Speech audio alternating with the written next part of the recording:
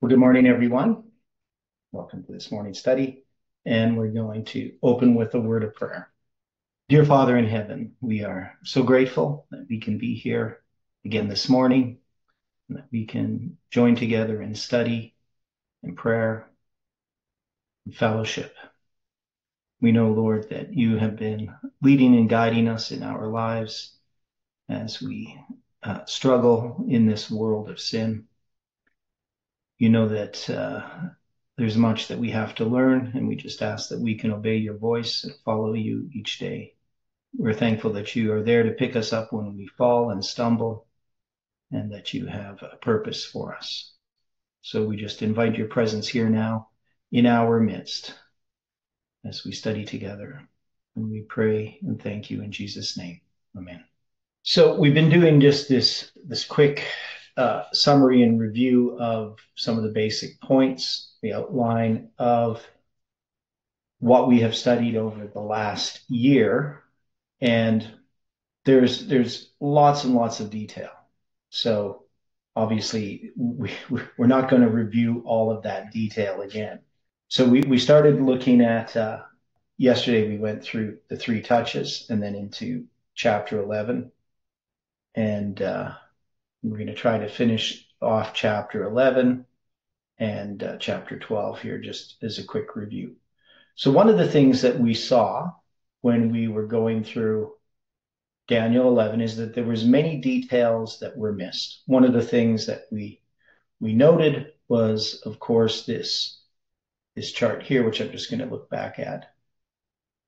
This chart that ties together this 666 years with in this structure of these even four times. So we're dealing with the period from the Roman Jewish League, uh, all of that period up until the taking away of the daily. And so that 666 years that Miller noted, which is an inclusive count, he just thought it was a cardinal count, it's inclusive, is part of what we see in Daniel chapter 11. That is, Daniel chapter 11 is dealing with this connection between uh, the kingdoms of Bible prophecy, that is the sons of the breakers of thy people, that is Rome, and the breakers of thy people being Babylon. And so there's there's all of these different connections. And so we're not going to have time to go through them.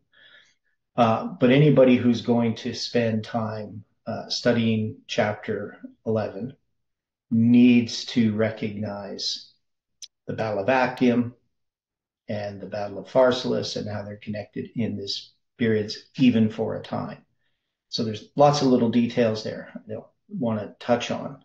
Now, when we get to, um, so we had, we, and we had gone through this, uh, um, that they, that we went through some of the verses twice. That is, we had different present truth applications for these verses, but the historic application is the same in each interpretation just a, a different uh, present truth application. And then we have the reason that Jerusalem is destroyed has to do with this league, right? So it's going to address that. And then you have um, in verse 25, so we'll start reading here. And he, that is pagan Rome under Octavian, who's the king of the north, shall stir up his power and his courage against the king of the south uh, that's Egypt under Antony.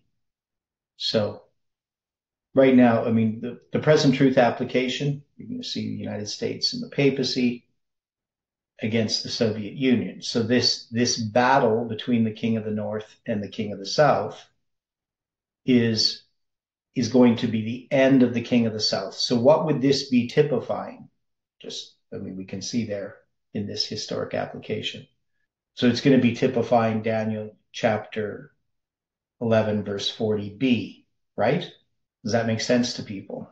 That you're going to have this earlier history continue to be repeated. That's why we are shown this history. This history is typical. All these things are types, typos in, in samples, right? Of, of things that are going to happen at the end of the world. That's the purpose of prophecy. That's the purpose of history is to give us illustrations of what is coming. And and we can see that this history that has occurred has typified something in our history, the, the present time in which we're in. So we're in we're caught up in this this history of Daniel 11, verse 40b onward, right? Which is the history uh, addressing the Sunday law. Now we know that uh, the Soviet Union is going to be conquered, right? That happens in this history. That is, Egypt is going to be conquered. Now, how do we understand? So we so we have Egypt here, represent the king of the south, which is atheism. How do we reconcile the idea that uh, atheism is conquered, but it's still going to be part of the threefold union? I know it's kind of a, a question that um, we should have an answer to, but uh, we may not have thought about it. So, in this threefold union, is are the globalists conquered in order to be a part of that union? Is the question. They have something to do with the the the whirlwind, the ships of Chittim, and something else. Okay, so so we saw in 1989 we're going to have the fall of the Soviet Union. So the Soviet Union falls, but atheism is not conquered. It's going to move from the Soviet Union to the United Nations, right? And then we're going to see that after the United States reaches its hand to join with the papacy prior to 1989, that it's also going to join with the dragon power, right? Spiritualism. And, and we mark that at 9-11, right? That's, that's how we've understood it. So, so when it's defeated, it, it's not really defeated in, in the ultimate sense. Now, when we look at, at Egypt, when it's defeated by Rome, how does that parallel with the fall of the Soviet Union as far as it being defeated? What, what is it that Rome is defeating? Like, does Egypt still exist? The question again, what is it Rome defeats? Yeah, what is it? What is it like? Because we're dealing here with history that is become symbolic, right? Yeah. Yeah. So, so we know that Egypt is going to be conquered by Rome. It's going to become part of the Roman Empire. That's what, what's going to happen, right? I mean, it, in some ways it, it happens gradually and slowly, and there's different stages and so forth. But we, we finally look at the defeat of Egypt. It's, it's now part of the Roman Empire in this history. Yeah. So, so what is that really symbolizing? Like, what does it mean that we have this threefold union between the dragon, the beast, and the false prophet? Um, especially if you consider that, you know, the papacy really conquers the United States in some ways, and the papacy also conquers uh, spiritualism. Right. So, but there's also a union where the United States reaches its hands across the gulf and the abyss to join with these powers. So how do we reconcile this different type of imagery in join with these powers or with the one power, the papacy? Well, any of these powers. We have two different sort of illustrations. One is we have an illustration of them being conquered. Right here, Egypt is conquered. It's it's not a league with with with Rome, right? It's conquered by Rome. And then we see the United States is also seen as conquered by the papacy in some of our illustrations, right? But also the United States is the one that reaches its hand across the gulf and the abyss to join hands with the Roman power and with with uh, spiritualism. So why are these different illustrations? What are they trying to illustrate? Okay, I'll, I'll put the question in, in this way. So who is the enemy at the end of the world of God's people? Satan. Okay, well, Satan is, yeah. So, so we have the dragon, the beast, and the false prophet. So we have spiritualism. So we would look at the World Economic Forum and all of those things associated with uh, globalism, right? That's yeah. the enemy. So we, people, some people are worried about the New World Order or what's going to happen with uh, the World Economic Forum. So that becomes a focus for some people. Others focus upon the papacy itself the papacy is the one really behind it all. And so the papacy is the enemy, and that's where we watch whatever the papacy is doing. Some people focus upon apostate Protestantism in the United States. They're looking for what's happening in the United States, especially with the Republicans, the religious right, or whatever they want to call it, the evangelicals. And, and so they're looking for Sunday legislation uh, from, from that direction. So some people have quite different focuses on, on how they perceive the enemy. Right? So there's this, this enemy. Now we know Satan's behind it all, but we, we see this illustrated in different ways, right? So we see the dragon, the beast, and the false prophet. There's this unity that comes about, but yet they're enemies of each other, and they they get conquered by the papacy but sometimes they're seen as being in union with each other. So, how do we resolve that? How do we understand that?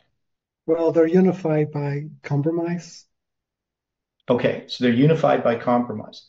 So, one is they're not really united in the truest sense. They're all looking out for their own interests, right? They're defeated by compromise as well. I think I was wanting to say. Mm-hmm. You have the okay. example in the, of the Ten Kings as well during the 1260. Yeah.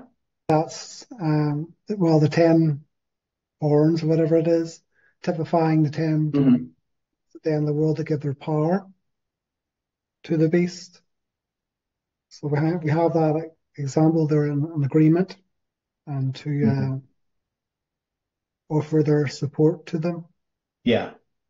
So I, I sometimes think that this is unclear right? That that is we sort of hold these different views that, that we we haven't really reconciled. We haven't really pulled together because the question, the big question always for me as a Seventh day Adventist is how does the Sunday law come about in a secular society? How is that going to occur? How how religious does the society have to become? And and we know that it's a grassroots movement, this Sunday law, right? It's not it's not coming from the top down Yet we we know that the papacy is definitely behind it, right? Which is kind of the top. So so we have what I would consider a lot of conflicting ideas on the surface, and that there has to be some sort of unifying way of looking at uh, this Sunday law on how it's going to unfold. And you know, one of the things that we know as Seventh Day Adventists in reading the Spirit of Prophecy is that many people in the Adventist church are, are not just going to support the Sunday law, but are going to be responsible for initiating it, right? That is, in the compromise of Seventh day Adventists, they're going to see this as a way to evangelize, which makes no sense, but but that's how it's it's going to be seen, right? That they're going to see things much the same way that the world sees things. And so they're going to see a Sunday law as a necessity. And so the church, many in the church are not, not just going to be, you know, accepting of it. No, they're, they're, they're not just that they're not going to hinder it, but they're actually going to promote it. So this becomes a very complex idea. And I believe that there's all kinds of distractions out there to take the focus of, off what we need to focus on. So what is it we need to focus on? What is it that Daniel has been pointing us to symbolically? Like if we're going to deal with Daniel's last vision, what is the whole purpose of this vision? We, have talked a bit about, you know, that there's all this symbolic language, right? That that's that's used in scripture, these symbols, they represent something.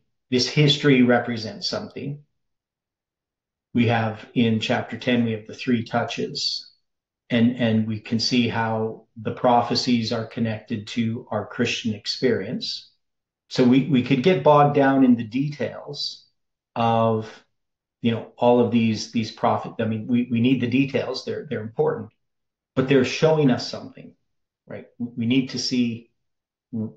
We can't just look at the trees. We need to see the forest. So what is it that we see here in this conquering of Egypt by Rome? So think about some of the history of that. So why why is Octavian and Antony at odds with each other? Over a woman? No, no. So, so they were part of an agreement. So the second triumvirate. So what's the second triumvirate? Dwight or Stephen? You guys remember the names? So we got Antony, Octavian, and what's the other guy's name? So Lepidus? I think so. Lepidus? Lepidus. Yeah. Okay. So so originally Octavian and Antony are in in an agreement. They're they, they form this triumvirate having to do with the death of Julius Caesar, right?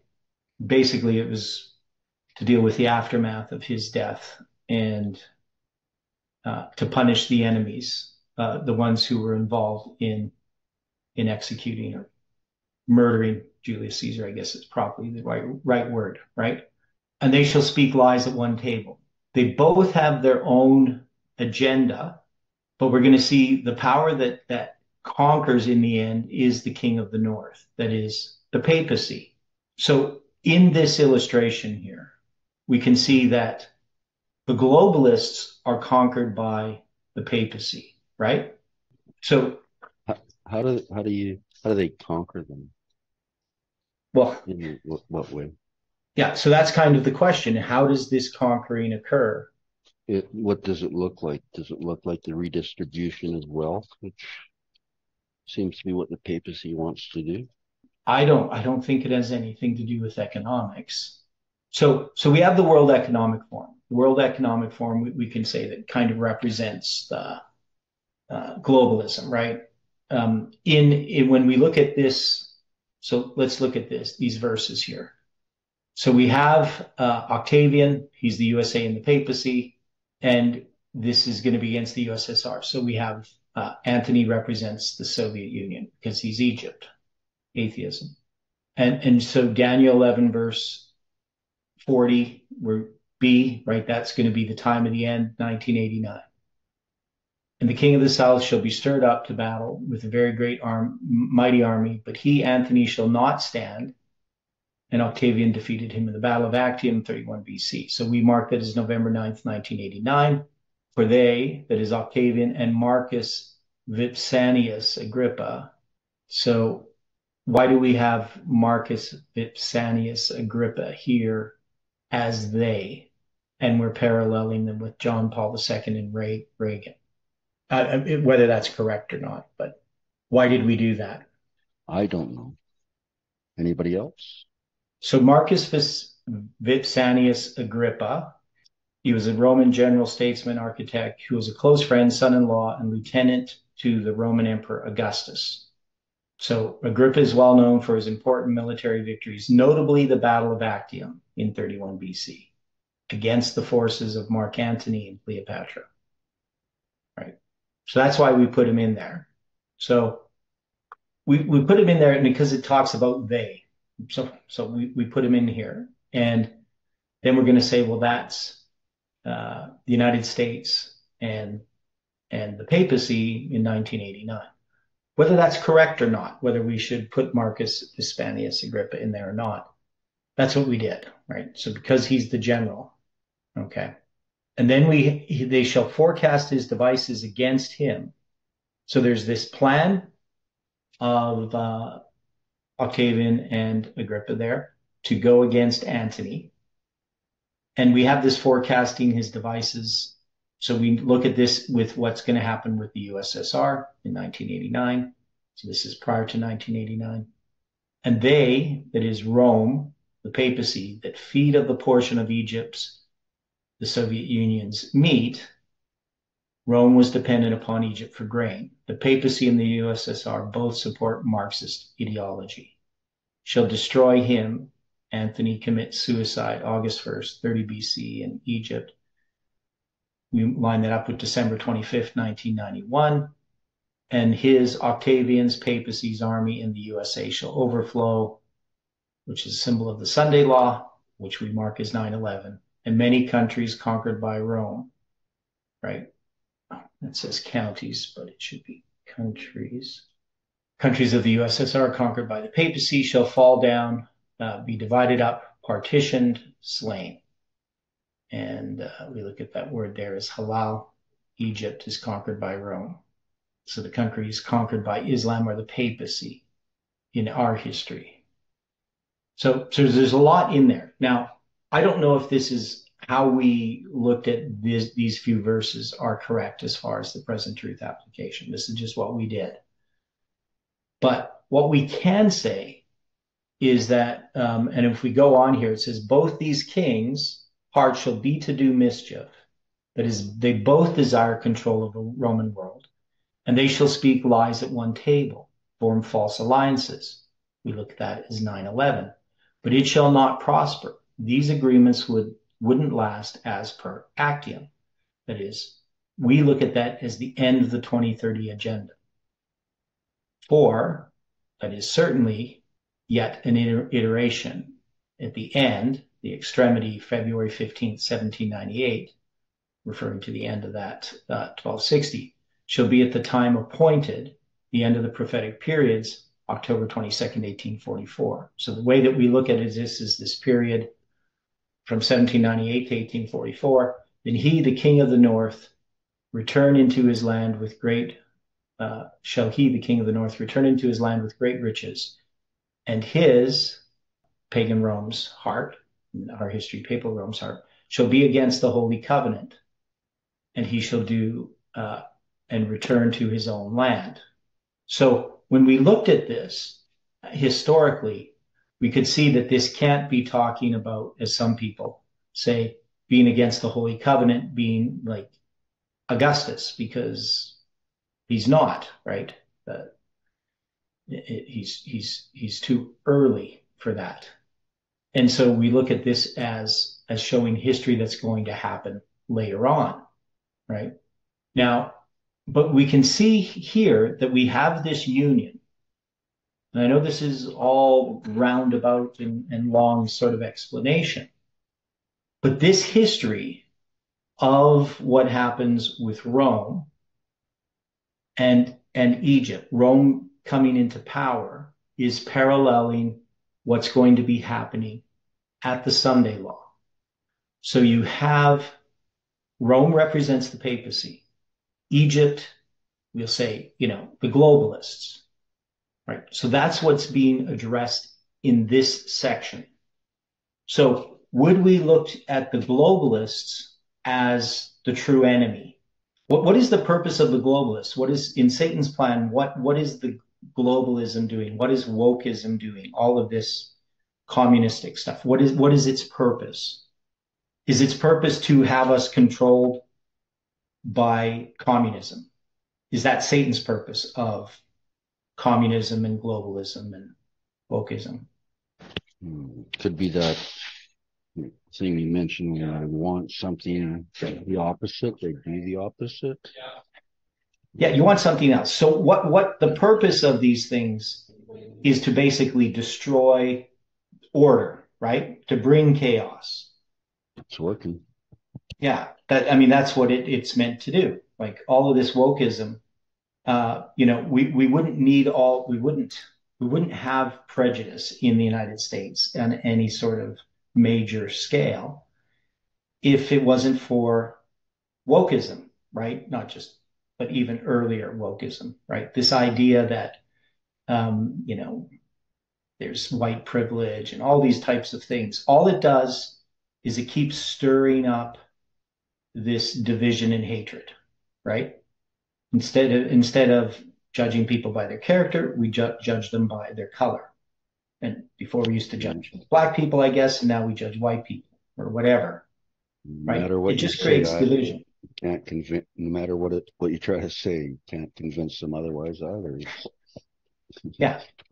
So, and and so even if we look at like Trudeau in Canada, um, his policies are to destroy the economy, right?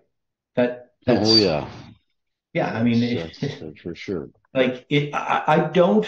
I mean, obviously, he might be naive and really believe those things, but behind that, the people who are behind it, the person or the being behind it, Satan, he puts these ideas into people's minds. Even if those people may think that what they're doing is good, Satan knows the result is going to be destruction. It's going to be death and famine and disorder and riots and so forth. And, and that suits the purposes that Satan ultimately has through the Catholic Church, through this false religion, to have people turn to the papacy, right, to a false Christianity to solve the problems. So this is is basically what we we understand, right? It's what we understand about about prophecy at the end of the world. And so when we try to look at what people say their goals are, you know, we can get really, really caught up in fearing, you know, the World Economic Forum or fearing, you know, all these different groups that have all these different agendas. But one is we shouldn't be fearing anything except God, right? We're not going to be able to stop all of these things that are happening or could be happening. Some of them are true, some of them are false, right? A lot of it is just misinformation to distract us. All kinds of theories out there about, you know, what what the government's planning and what's the government's doing that aren't true, right? But we know that there's something even much darker that that needs to be our focus, and that is to get our attention off Christ and onto ourselves and onto the worries and concerns in the world around us that we have no control over. Mm-hmm. Right.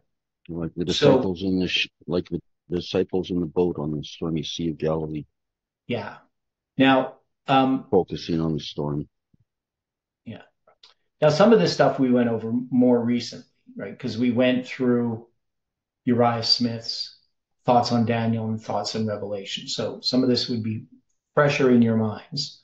But we had this this section here which I thought was really important. This was Daniel 11 verse 29, and uh, there was different ways in which we could read this passage. Right at the time appointed, he shall return and come toward the south, but it shall not be as the former or as the latter. Right. So this this verse Daniel 11 29, we had in the historical application different ways that we could look at this, which of course would affect the present truth application.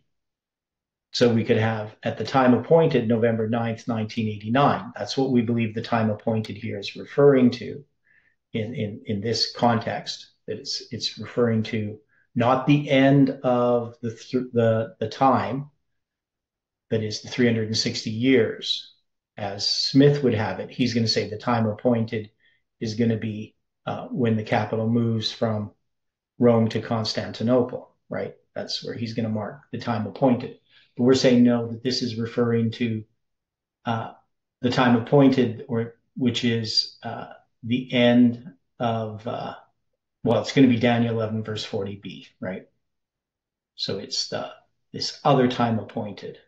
And um, so he, the papacy, the USA king of the north, shall return, come toward the south, Soviet Union, but it shall not be as the former. So there we had the former being the fall of Egypt in 30 BC, in that it is a spiritual north and south and not literal. So that's why it shall not be as the former, because it's spiritual in this context, or as the latter. Right? So the, the fall of Western Rome would be the latter in this case that it is not pagan or literal Rome, but papal, spiritual Rome. So that's one option. And, and we had and or. So we can say, well, it can be this and maybe also this or just this. So at the time appointed, again, November 9th, 1989, he, the papacy in the USA, the king of the north, shall return, come towards the south. Again, the USSR, but it shall not uh, be as the former, the fall of Egypt in 30 BC, in that it is spiritual north and south and not literal, or as the latter, 1798. So we just said instead of the latter being the fall of Western Rome, this would be the fall of the papacy, in that it is the north against the south and not the south against the north.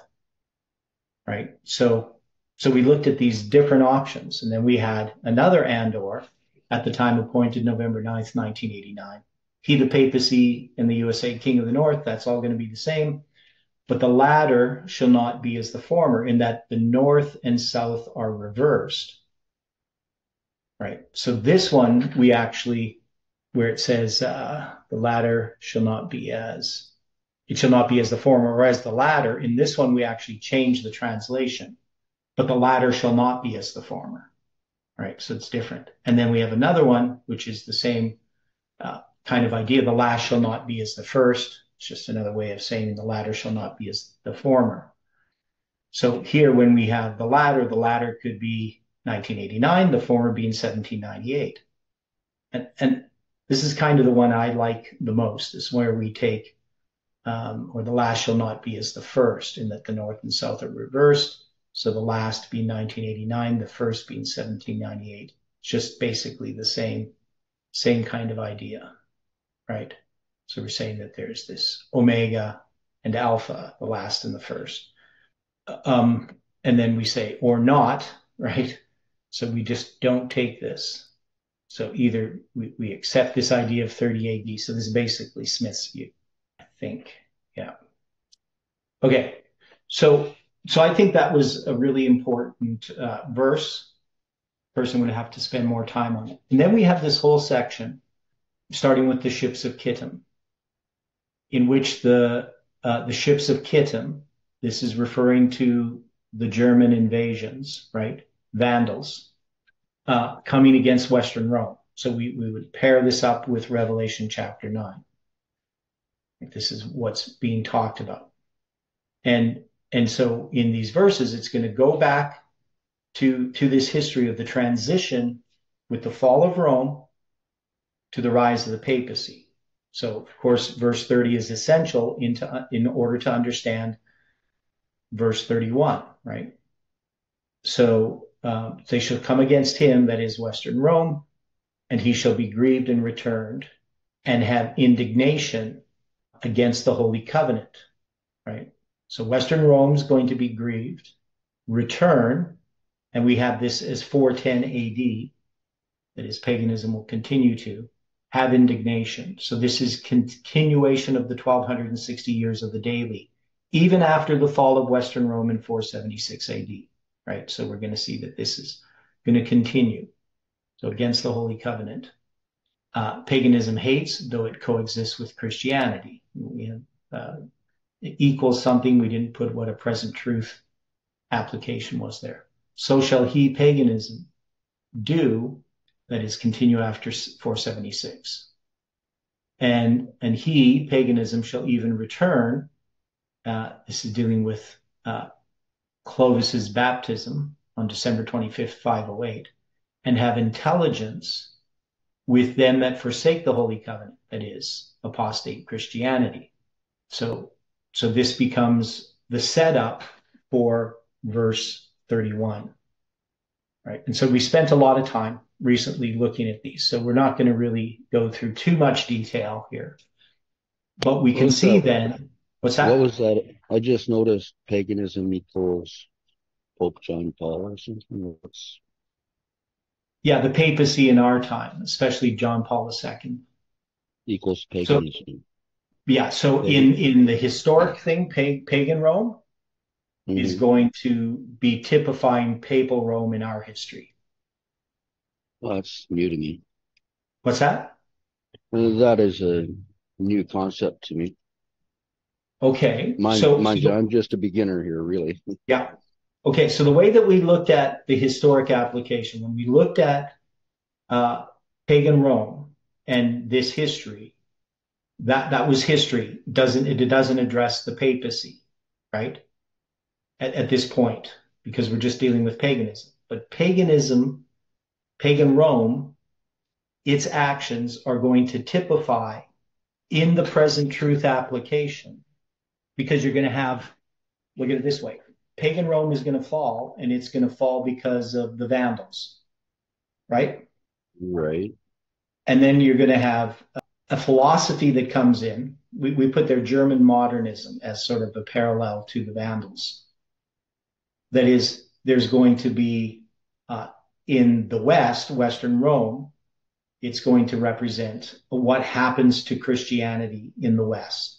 So there's there's sort of a fall that occurs mm-hmm. um, because of these philosophies. So it's it's it's a little more spiritual then then we generally look at it. What you're saying is papacy adopts the principles of paganism and uses them to bring about the fall of the U.S. somehow, the Protestantism falling to the Sunday law? Well, well, here we're dealing with more with the fall of Christianity. Yeah, so it is going to be a philosophy that destroys Christianity, right? Okay. Yeah. Yeah. So we're sort of looking at it in in this part in that aspect, whether that's the best way to explain it or not. But we're dealing with the fall of the papacy, right? Not so much by military conquest, even though the Vandals represent military conquest for the fall of pagan Rome. But it, it explains how it continues, that paganism still continues, and then it's in historically it's going to take the, the the church is paganism in Christian garb, right? So we have this, this Christian philosophy that that that has dominated in our history. Papacy is paganism in Christian garb. Yeah, Right. So, so when we parallel with paganism, what happens with paganism when it falls, we can see that there's a parallel there with the papacy in our history. Okay. Yeah. Right. That it, it continues this philosophy. Mm-hmm. And so Clovis's baptism is, of course, paganism being Christianized, right? December 25th, 508. And then when he has intelligence with them that forsake the Holy Covenant, that is apostate Christianity historically, we can see that that intelligence or communication influence exists in our history. So that's going to be John Paul II and Reagan. And so we had some dates there, June 7th, 1982, when they first meet. So, so apostate Christianity in the his, historic part is going to be Protestant America. So we can see that Protestantism is combining with papalism, just as uh, paganism combined with apostate Christianity. So it's it's it's a it's a different kind of parallel than we we've generally used in that history. The the word intelligence, can you say a little bit about that? It just means communicate. Okay. Right they're going to talk to each other. Right? In, we put their influence, right? Yeah. So, you know, sometimes it can be seen sort of as a co- covert communication, but really it's, you know, the why they put the word intelligence there. I mean, obviously we have the idea of intelligence now in the sense of, you know, spies and so forth. But yeah, I was going to yeah, that's the word the King James CIA co- covert operations yeah, that's how we think of the word intelligence, but it's not really the intent of of the word originally. So if I just go here, yeah, this 995, it says to separate mentally or distinguish or understand, attend, consider, be cunning. So there's that part of it. Diligently, direct, discern, eloquent, feel, inform, instruct, have intelligence. These are different ways in which it's translated. The idea is just to separate mentally. So there's some kind of communication or influence that happens, right? That's the way that I that that I would take that when they have intelligence. So there's this influence between these two powers. So when Clovis is baptized, this there's this connection between this new Christianized paganism and and the papacy. Right? So they're just going to be working together right? Which is what we see historically. Okay. Yeah. So, Thank you. Yeah. Okay. Well, that's the purpose of this uh, review is to kind of make these things clear. Now, um, of this chart here, uh, what you see here, November 22nd, 977 BC, 1453 years to the fall of Western Rome, and then 977 years uh, to the fall of Constantinople in 453. So there's this little puzzle or whatever you want to call it. So, so you got 977 BC is connected to 476 AD by 1453 years. That's going to be obviously uh, the division of the Northern Kingdom, and that's the date in which uh, uh, Jeroboam's going to offer on the altar in Bethel, right, in the prophecy of Josiah. And then we had uh, he's going to be grieved. That's going to be 395. Return is 410, and have indignation is 476 to 508. So that's the, those periods of time. We're just going to say he shall be grieved, return, and have intel and have indignation against the Holy Covenant. So then you have the the fall of Constantinople in 453. There's 476 years to the Lateran Treaty, right? So there's all these different uh, symbols involved there. And the Lateran Treaty happens over a period of 116 days from February 11th to June 7th, 1929. And then there's 53 years to John Paul II and Reagan meeting, right? So there's just uh, there's just some details there. Not all of them are super important, but we can see that there's there's some value in understanding that.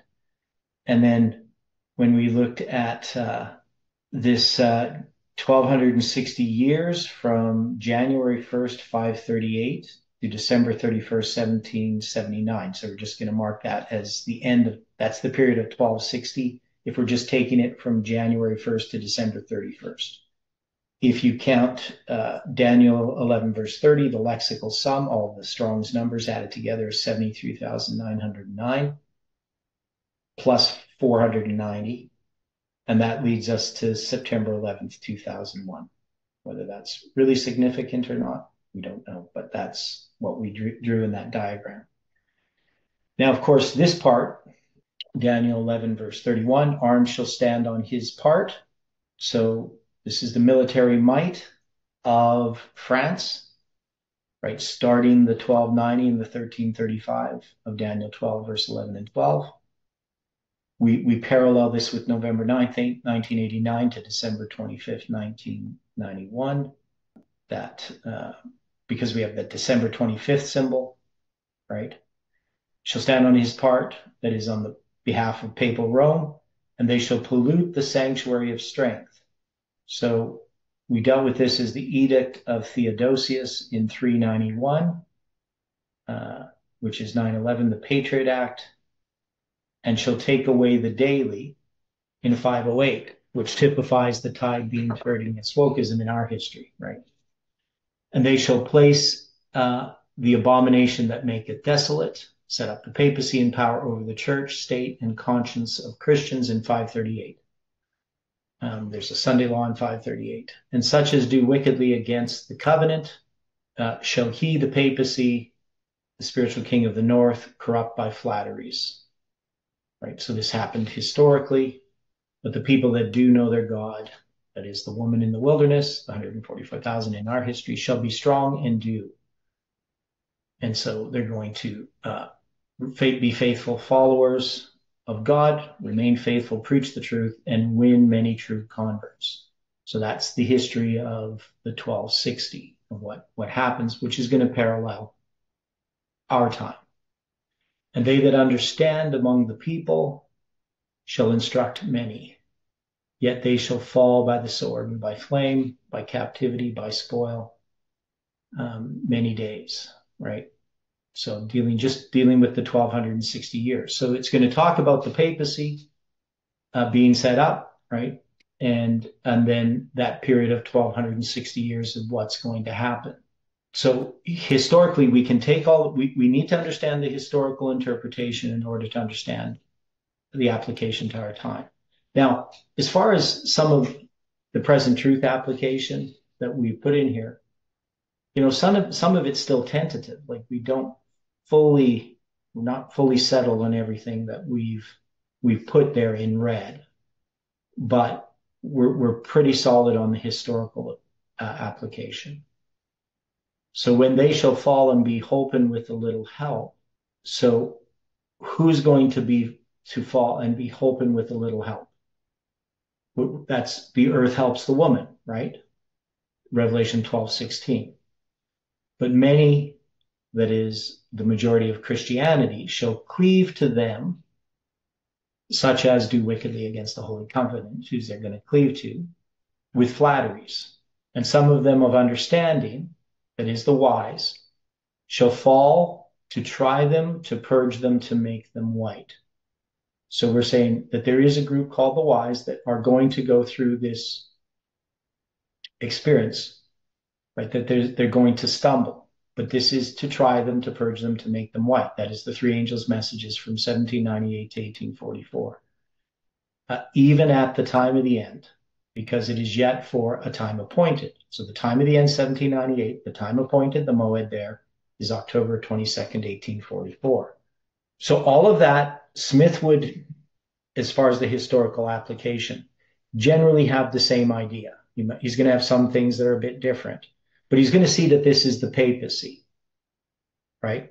He's not necessarily going to understand uh, the the time appointed and uh, the time of the end in the way that we do. He's he's he's just going to see, I think, them both as the same period. But but generally, the idea that this is the papacy, where the difference came in was when it says, "And the king, that is papal Rome, the king of the north, shall do according to his will." Smith says, if it said a king, you know, then it would be introducing a new uh, power, which he says is France. But the thing is, it doesn't say a king, right? It says the king.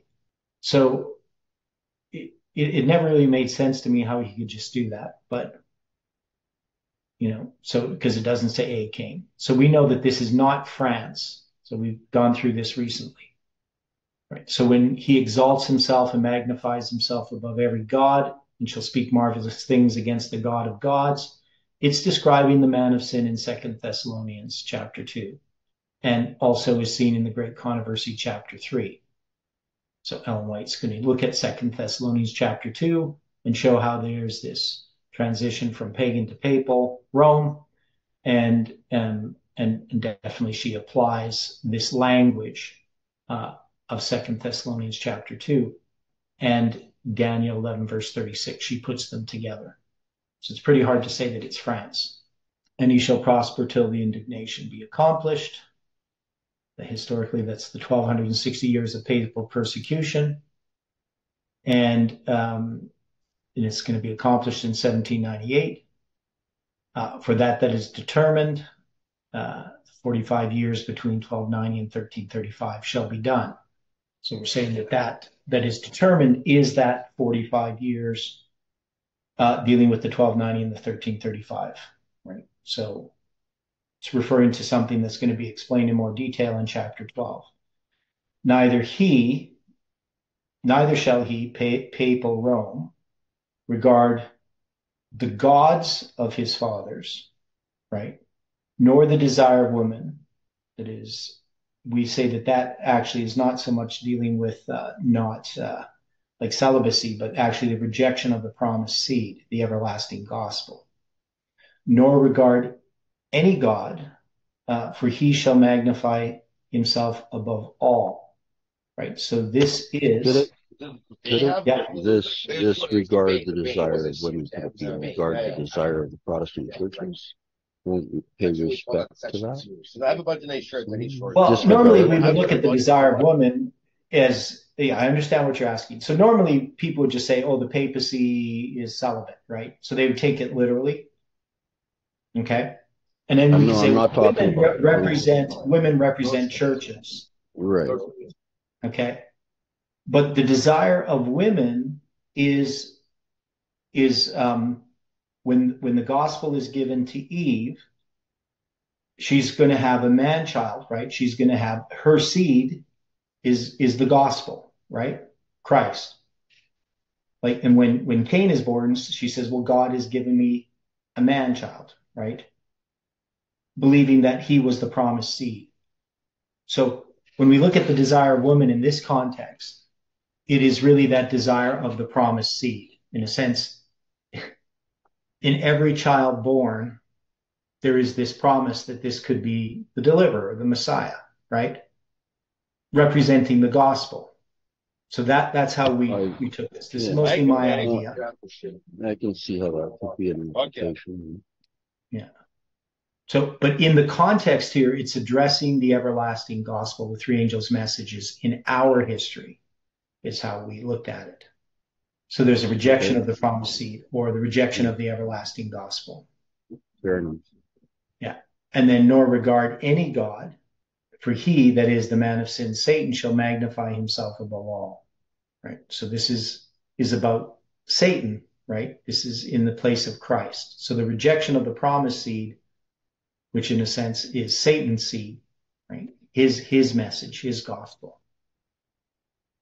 Angela poses an interesting question as well there in the chat. What, what's that?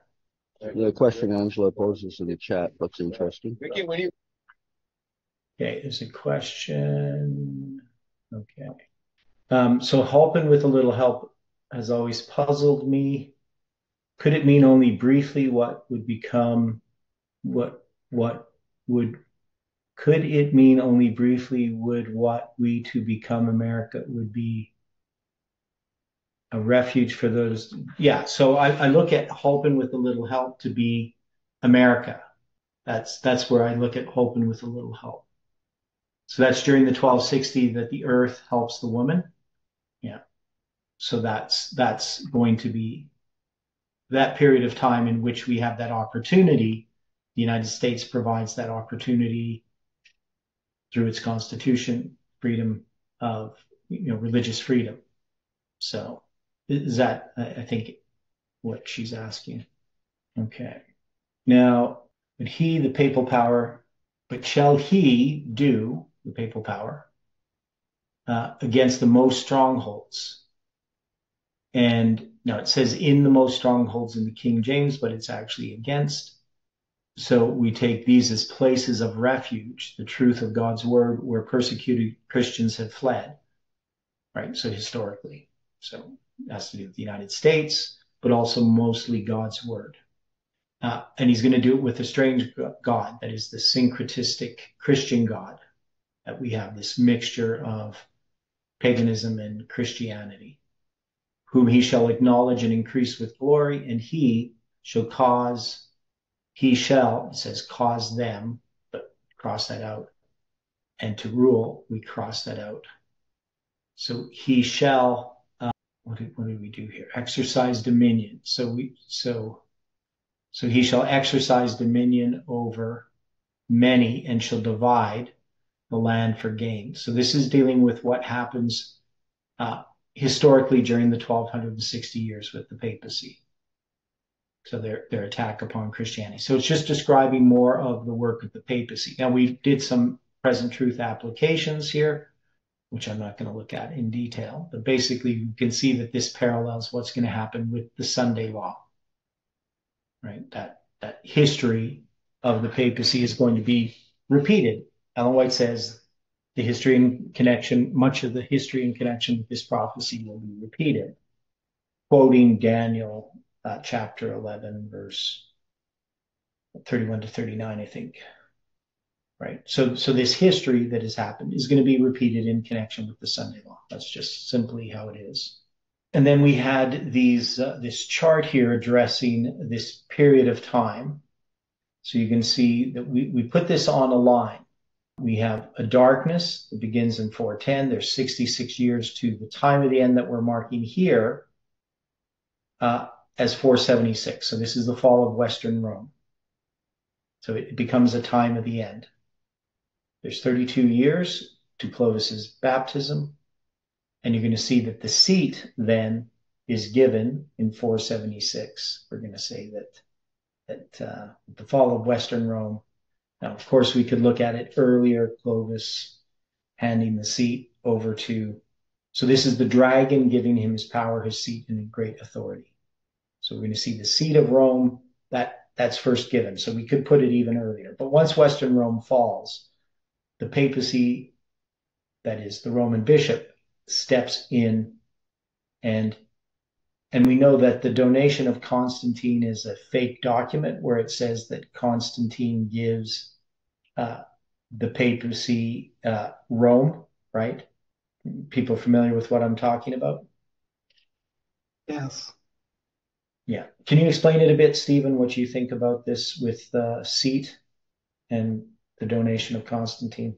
Well, they didn't really officially give them their seat, but mm-hmm. uh, it sort of was believed for quite some time. Mm-hmm. Yeah. So, so I mean, does it make sense to put the seat here as 476 once Western Rome falls?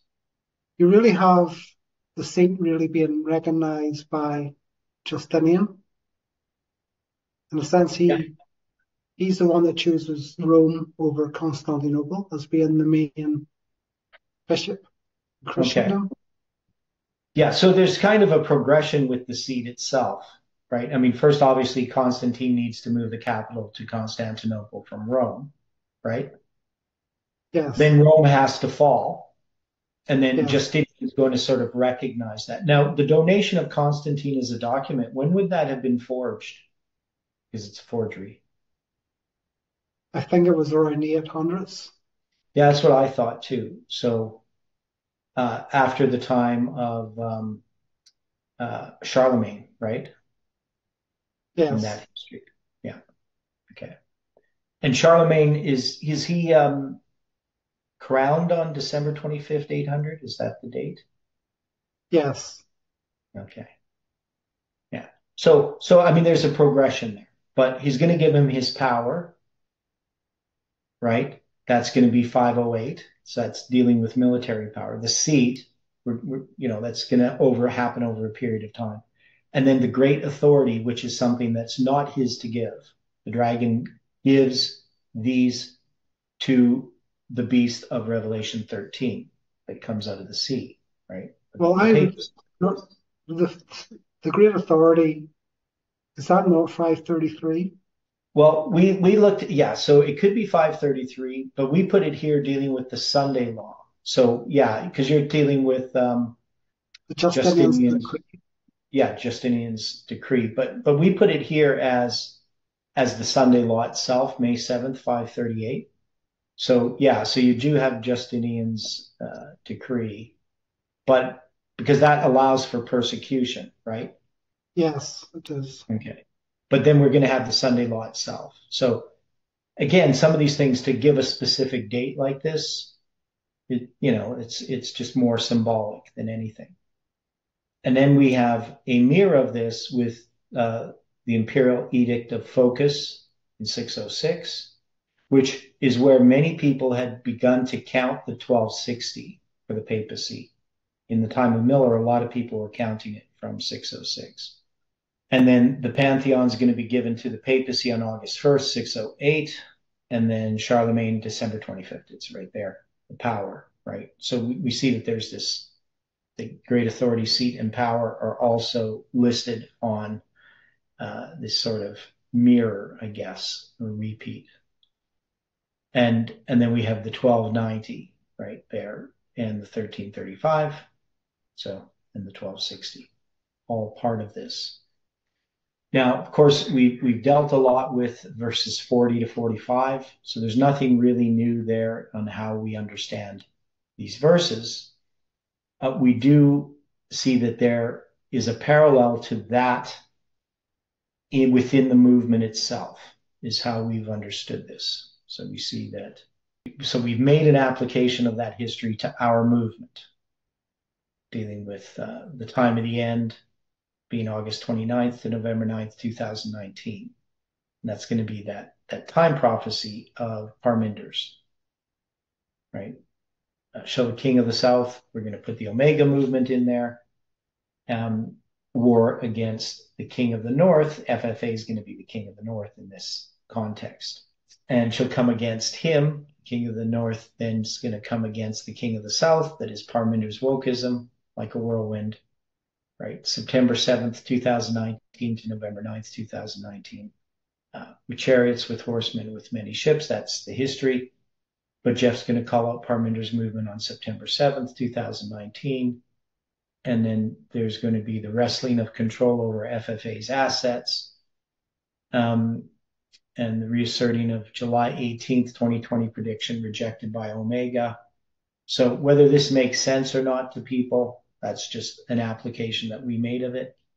And, and then we could show that this uh, 776 days after the fall of the Berlin Wall to the USSR ceasing to exist, 777 inclusive days, parallels that period of the pandemic uh, which is symbolized as in Odilio's study dealing with the mandates uh, from November to December uh, 25th, 2021. So whether some of these things make sense to people or not, uh, the most important part is understanding the historical application. And uh, so these are some charts dealing with the Soviet Afghan war and some of these numbers. I'm not going to go in detail here. So, so we've looked at these, these verses in detail. And when we get to chapter 12, uh, some of the things that uh, we noted in chapter 12 that are important. Uh, we didn't do a, a completely like a present truth application of it. We just say that there's a close of probation for the movement that parallels a close of probation for the world. We could also say a close of probation for Seventh day Adventism at the Sunday law. So, you know, some of this stuff is unfinished. And as I go through and write this out, uh, you know, we're probably going to come back to some of this in, in our other discussions. So at some point, I think we'll actually go over it again. The idea was we were going to have a camp meeting like next week. Um, which we're not having, uh, where we were going to try to to hammer some of this stuff out in person. But at some time we will do that. We will actually go through uh, this this document once it's done. Uh, we will do it in person for whoever can be there at the camp meeting. Um, so so it's not really finished in that sense, but a lot of this this groundwork has been done for us through these studies. So we, we went through pretty much our understanding of Daniel chapter 12 isn't all that different from uh, from what we've understood in the past. And we do have some symbols that are attached to it, and there are some verses that definitely we have a view on that wouldn't generally be understood in Adventism. So if we look at Daniel 12, verse 5 to 7, for instance, then I, Daniel, looked, and behold, there stood other two, the one on this side of the bank of the river, and the other on that side of the bank of the river. And one said to the man clothed in linen, which was upon the waters of the river, How long shall be the end of these wonders? And I heard the man clothed in linen, which was upon the waters of the river, when he held up his right hand and his left hand unto heaven, and swear uh, um, by him that liveth forever and ever, that it shall be for time, times, and in half and when he shall have accomplished to scatter the power of the holy people, all these things shall be finished. Now, Seventh day Adventists are going to look time times and a half, and, and we become really sort of uh, myopic, right? We, we see 70 years, we think it's always the 70 years Babylonian captivity. We see time times and a half, it must be the same 1260 period. But of course, we know this is for the scattering of the power of the holy people, which is referring to what happens under paganism, not under papalism. Papalism is going to trample underfoot, right? Tread underfoot the holy city 42 months.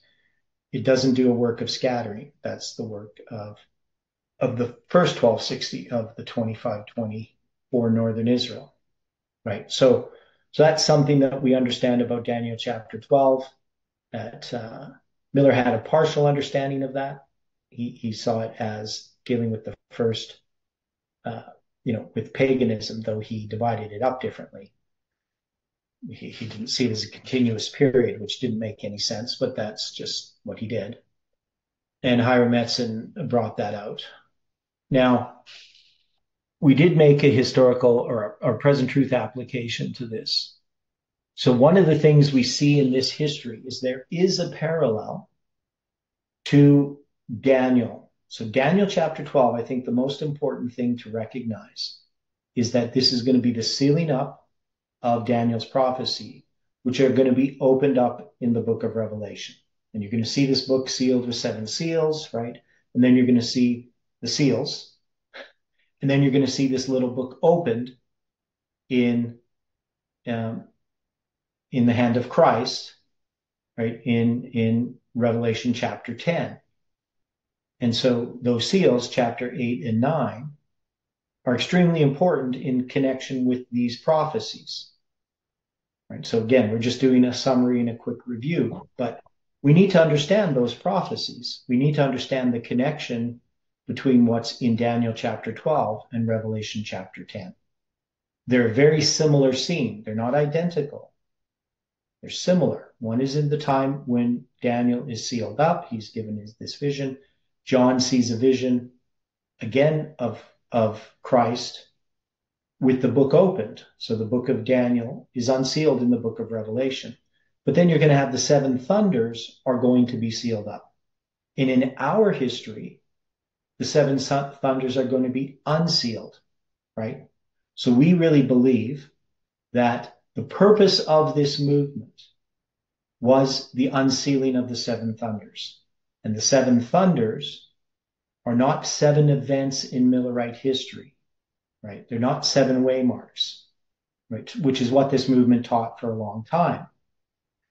And um, Peter Plum had done a study showing that that didn't make any sense. And then I wrote a study explaining that he that we we had sure we had made a mistake in how we had understood the seven thunders, but if he understood it correctly, it would actually uh, support the conclusions that we we drew from Millerite history. That is, what happens in our history is the seven thunders, they just seal up Millerite history.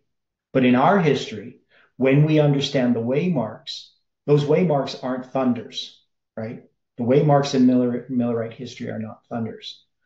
They're sealed up by seven thunders, right? So this was a mistake Peter Plum made in trying to argue against those waymarks. So he didn't really accept all the waymarks in uh, Millerite history. And but I, we can see clearly that this unsealing of Millerite history is something that only this movement has. We're the only ones who understand Millerite history. Understand Samuel Snow's letters. That's only this movement. And not everyone in this movement. That is, not everyone in this movement understood Samuel Snow's letters or even cared about them. Right? So that was a, a problem. Jeff understood them. That's one of the reasons he accepted July 18, 2020, as he saw uh, the parallel right, with Samuel Snow's letters and what was unfolding at that time.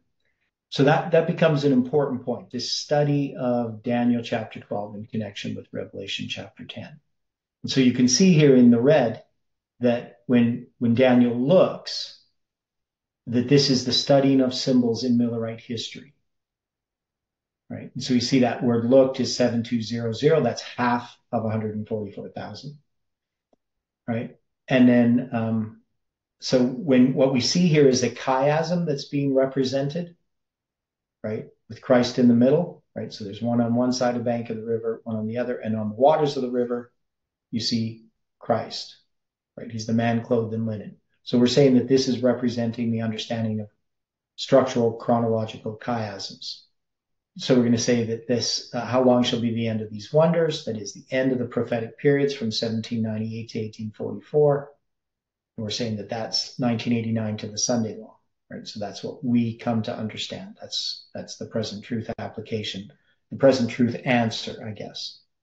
And then he's going to swear by him that liveth forever and ever. That word swear 7650 to declare an oath seven times. So we're saying that that's the understanding of the 2520 prophetic mirror. And it shall be for time times and a half. We can see, well, that's the 1260 years of paganism. Uh, but we're going to say that that history is the history of Adventism, of the three generations. And when he shall have accomplished to scatter the power of the holy people, scatter the Jews until 538 AD, that's the scattering of the three angels' messages from 1844 to 1957. These things shall be finished, right? So you're going to have the arrival of the fourth generation in 1957. So you can see how this would parallel what's happening in Revelation 10 because it's the understanding of Millerite history and how it relates, how that, that history, that understanding is lost in the four generations. And that understanding then is revived with this movement beginning in 1989. And then we're going to see all the sealing up of the seven thunders, right? And then, of course, we have uh, well, I'll just read it here. So I heard the three angels, I heard, and the three angels' messages is expressed in the seven thunders of Revelation 10. But I understood not. And Daniel represents the people in, of God in Millerite history that are sealed in Revelation 10, right? Right. So that he's representing 144,000 of God's people. Then then said I, O my Lord, what shall be the end of these things? And he said, Go thy way, Daniel, for the words are closed up and sealed to the time of the end. Many shall be purified, made white, and tried. So we know that goes back to that other verse in Daniel 11 that has these same words, but in a different order. But the wicked shall do wickedly, right? So you have the two classes those that are purified, made white, and tried, and the wicked. So that deals with the everlasting gospel, right? And none of the wicked shall understand, but the wise shall understand. And from the time that the daily shall be taken away, and I should always do this, I don't know, shall be taken away. So we're going to say that's December 25th, 508. The baptism of Clovis, that's well understood. And the abomination that maketh desolate set up, it's going to be obviously 538 we, we parallel these to December 25th, 1991 and December 25th, 2021. So that's that 30 year period. There shall be 1,290 days. So um, there was this uh, July 18, 1290 is the edict of expulsion on Tish B'Av. Tish B'Av is the ninth day of the fifth month which the Jews celebrate or commemorate the destruction of Jerusalem on the 10th day of the fifth month. Still never been able to figure out why they use the ninth day, but uh, I've seen different explanations. So we're just saying that parallels July 18, 2020 in our history. Blessed is he that waiteth and cometh to the 1,309, 305 and 30 days. So that's going to be April 19th or the first day of the first month in 1844 right? That that you come to the 1335. And we're saying that brings us to 9/11 and November 9th, 2019 in our history. But go thy way, right? You can see obviously why 9/11 and November 9th are connected as symbols, and they represent the first day of the first month, both of them. But go thy way till the end be, for thou shalt rest and stand in thy lot at the end of the days. So October 22nd, 1844, right? uh, historically in that period up to there.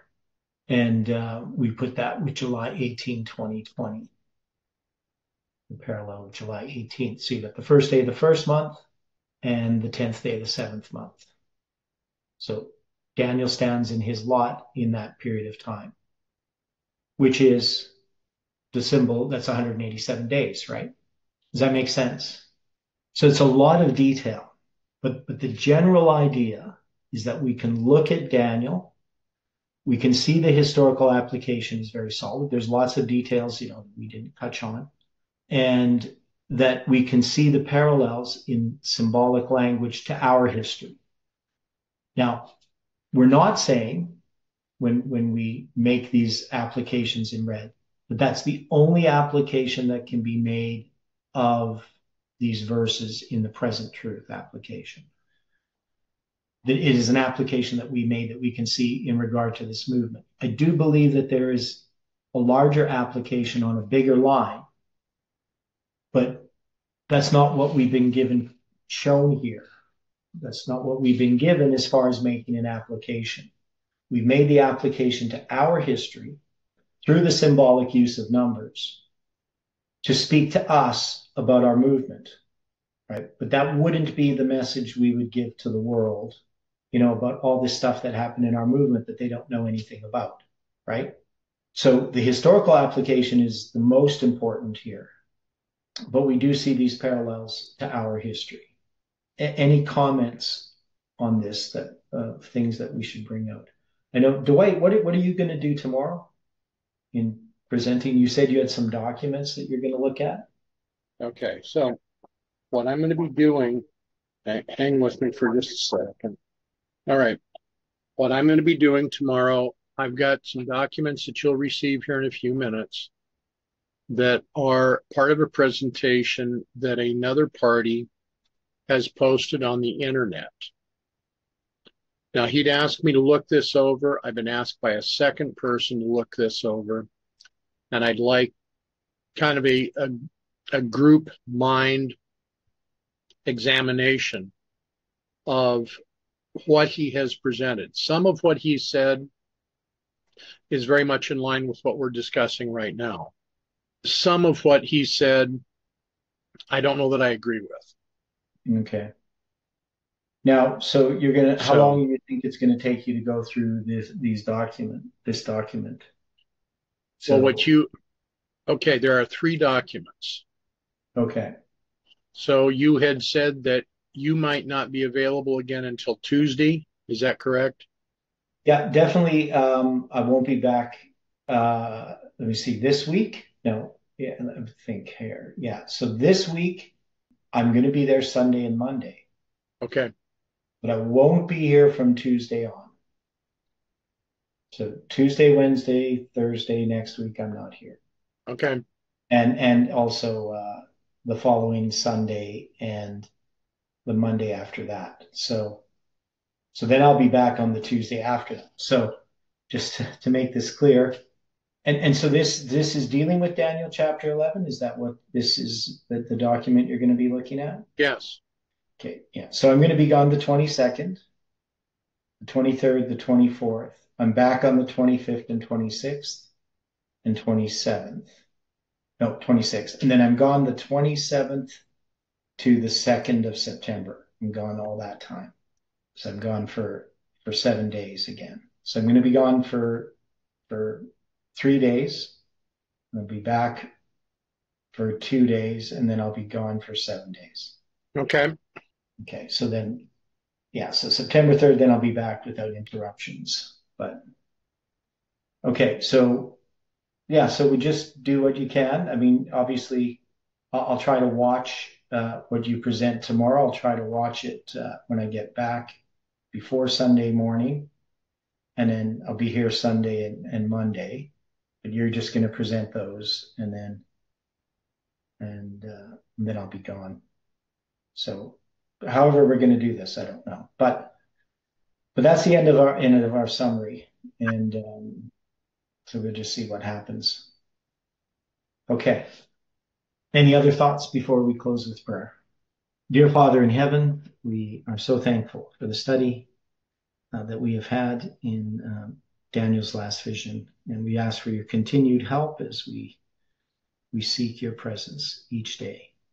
We pray for one another. You know the struggles and trials that we all face, and they're different for each person, based upon our need uh, for dependence upon you. So we just ask for your angels' care and protection, that we can have peace with you and uh, with one another. I pray for each person uh, who is studying these things on the internet, that your Holy Spirit can guide and lead them and that uh, we can see that there's still much that we don't understand and many things that need to be corrected in our understanding. So we're open to be taught of you in your spirit and and in the fellowship we have with each other.